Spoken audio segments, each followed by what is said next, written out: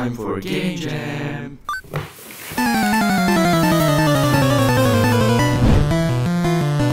The 2023 Brackeys Game Jam is finally started. One of the biggest jams on itch.io at this time, with more than thousands of thousands of participants, and all competing for the best game. Except me. For those who don't know what is a game jam, is a friendly competition where you have to make a game that fits a specific theme in a limited amount of time. Like for this one is 7 days. And trust me, it's pretty hard. However, this year the dam is diving deeper. And I'm pretty excited. So yeah, let's go create.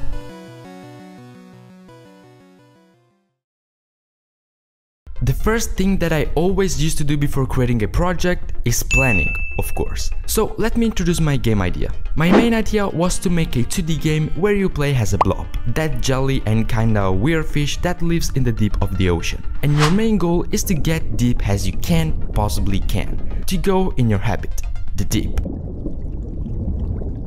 But it's not gonna be easy. That's because during the way you will might encounter some hostile creatures. And here it where it comes the challenge. So now that we have an idea in mind, meanwhile the Unity project loads, let's organize a good Trello board with the first task to do. Good. Now that it's now open, we can start working on the game. And because I'm obsessed with making the design first, I decided to start creating the sprite for the blob. So I went on Pixelorama and watching this reference I came up with this pretty similar blobfish. Then I imported it into Unity and give it some 2D basic up and down follow cursor movement. So we are able to move it around the scene. Nice. Next, because this game is based on deepness, I needed to create a sort of deep system. A system that permits the game to keep count the deep level of the player and do certain stuff with it. Like if you reach a certain level of deepness during the time, you will might encounter different creatures depends on the deep value you're at. After that, to warn the player that is reaching a new deep level, I added this text that this shows up every 50 feet you reach. While to tell the player at what feet he is at the moment, I added this other little text at the bottom center of the screen that prints the deep value in real time. Now because there is no water in the game but just an empty endless space, space, space, space, I add this big fat chunky square which is the water. But because leaving the water like this looks really bad, I added some post-processing and now it looks much more um, intense. Now, you probably know that in real life, water becomes darker as down far you go. So to add that real life feature in the game, I created a script that controls the color of the water, changing its darkness through the time according to its deepness. So now we have a 2D working player controller, the dynamic colored water to dive in, and text to warn the player at what fit he is. For the first day, I think it's pretty nice, considering that I started working late. It's the second day. Yesterday when I was going to sleep, I started thinking of what if there will be a beginning place where the player starts its journey, instead of just spawning in the middle of the water. So I decided to create it, a sort of beginning place environment where you basically start your journey in a sort of cart filled of water. And when I got this idea, I was thinking about a place like the Santa Monica Wharf, but then it comes out to be like this. There is just a dude that sells fish and another dude was trying to fish. Uh, nothing else. Oh yeah, there is the island, but that was foregone. Probably I will add something more later on, but for now it's not so much important. However, after that, I also tidied the Trello board a little bit and I added some new tasks as well, such as a sprint function for the player and some enemies ideas. And why not also an NPC dialogue function for the two dudes at the beginning so they have an actual meaning in this game. For the sprint function, I just made this coroutine method that simply modified the player speed and added some bubbles particles to make sure that it's sprinting. While for the enemies, I created a shark that simply follows you, a type of poison fish that basically moves really really slow, and a sub that shoots a spear gun when you're close to him. Pretty cool. It's the third day. The first thing that I did after waking up is adding some new tasks on my Trello board, which one of them is the game cycle.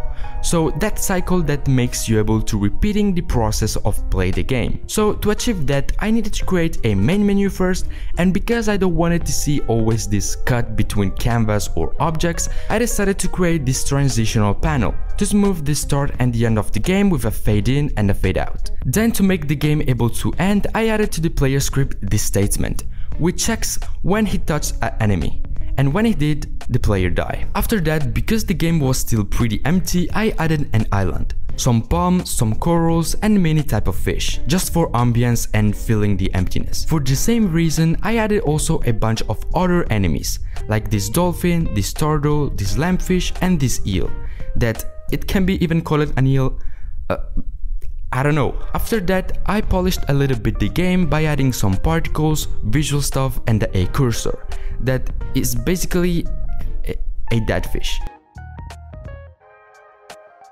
It's the fourth day. There are 3 days left and I still have a lot of things to add. The game still looks empty, kinda repetitive and boring. And we absolutely don't want that. So this is what I did. What if the blob has a laser gun on his back?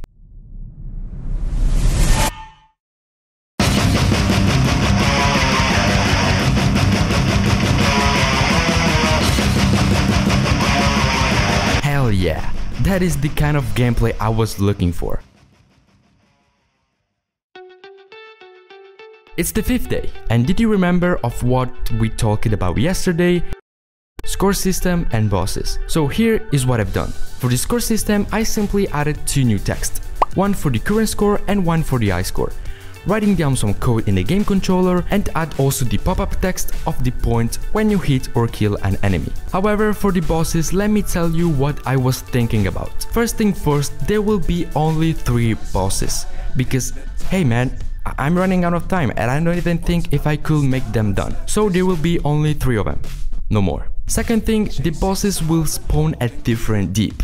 Like for the first boss it will be minus 1000, for the second boss it will be minus 2000 and for the third boss it will be minus 3000. The first boss it will be the Moby Dick. This pretty huge grey whale that has a big rectangular face that used to destroy the boats of the whale hunters.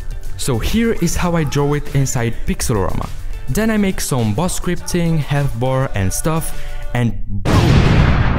Moby Dick boss baby, let's go. Okay, actually for the first boss I decided to make it pretty easy, so not so much stuff to do or hard things. It's the sixth day. And today we're gonna try to complete all the missing tasks for the game. So tomorrow we will focus only on the web page on itch.io. So what we need now are two more bosses. The two better option between all of these are the uh, Megalodon and the Kraken. So let's start with the Megalodon first. After drawing him inside Pixelorama and put it in Unity, I obviously write a new entire code for the Megalodon. And boom, we have a Megalodon boss.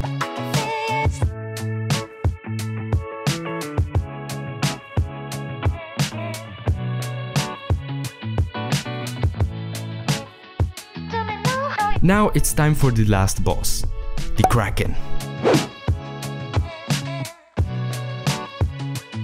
Okay, finally done.